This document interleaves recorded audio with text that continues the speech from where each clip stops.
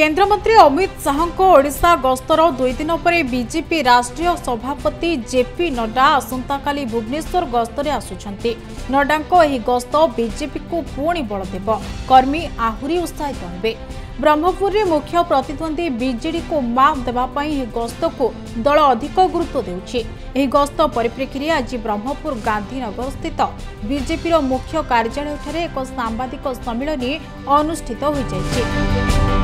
ଆସନ୍ତାକାଲି ଅଠେଇଶ ତାରିଖରେ ବିଜେପିର ଷ୍ଟାର ପ୍ରଚାରକ ନଡ୍ଡା ପ୍ରଥମେ ବ୍ରହ୍ମପୁର ଆମ୍ବପୁଆ ସ୍ଥିତ ବିବେକ ବିହାରରେ ଏକ ସାଧାରଣ ସଭାରେ ଉଦ୍ବୋଧନ ଦେବେ। ଏହି ସଭାରେ ବିପୁଳ ସଂଖ୍ୟାରେ ଯୋଗଦାନ କରିବା ପାଇଁ ଉପସ୍ଥିତ ସଂସଦୀୟ ପ୍ରାର୍ଥୀ ଓ ବିଧାୟକ ପ୍ରାର୍ଥୀମାନେ ନିବେଦନ କରିଥିଲେ। ଏଥିସହିତ ନବୀନ ସରକାରଙ୍କ ଦୀର୍ଘ ଚବିଶ ବର୍ଷର ବିଫଳ ଯୋଜନା ସମ୍ପର୍କରେ ଜନମତ ସୃଷ୍ଟି କରିବେ। ଏହି ବୈଠକରେ ବ୍ରହ୍ମପୁର ସଂସଦୀୟ ପ୍ରାର୍ଥୀ ଡକ୍ଟର ପ୍ରଦୀପ କୁମାର ପାଣିଗ୍ରାହୀ ବିଧାୟକ ପ୍ରାର୍ଥୀ କେ ଅନିଲ କୁମାର ଦିଗପହଣ୍ଡି ବିଧାୟକ ପ୍ରାର୍ଥୀ ସିଦ୍ଧାନ୍ତ ମହାପାତ୍ରଙ୍କ ସମେତ ଅନ୍ୟ ଦଳୀୟ କର୍ମୀମାନେ ଉପସ୍ଥିତ ଥିଲେ।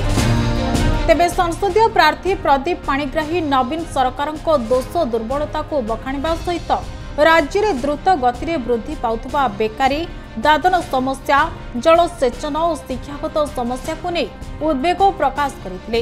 ଶେଷରେ ରାଜ୍ୟରେ ଓ ଦେଶରେ ଡବଲ ଇଞ୍ଜିନ ସରକାର ଆସିଲେ ଏ ସମସ୍ତ ସମସ୍ୟାର ସମାଧାନ ହୋଇପାରିବ ବୋଲି କହିଥିଲେ।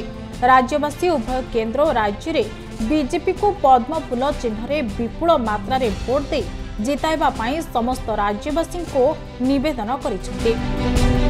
ତେବେ ଜେପି ନଡ୍ଡାଙ୍କ ବିସ୍ତୃତ କାର୍ଯ୍ୟକ୍ରମ ଅନୁସାରେ ଆସନ୍ତାକାଲି ଚାରିଟା ତିରିଶରେ ସେ ଭୁବନେଶ୍ୱର ବିମାନ ବନ୍ଦରରେ ପହଞ୍ଚିବେ ଏବଂ ସେଠୁ ସ୍ୱତନ୍ତ୍ର ବିମାନରେ ବ୍ରହ୍ମପୁର ରଙ୍ଗେଇଲୁଡା ଏୟାରଷ୍ଟ୍ରିକ୍ ଅଭିମୁଖେ ଯିବେ।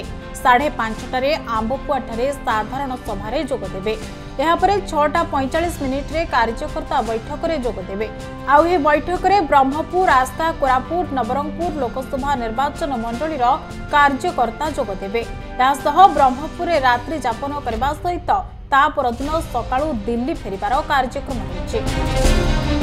ବ୍ରହ୍ମପୁରରୁ ସଞ୍ଜୟ କୁମାର ବିଶ୍ୱାଳଙ୍କ ରିପୋର୍ଟ ଖବର ଓଡ଼ିଶା।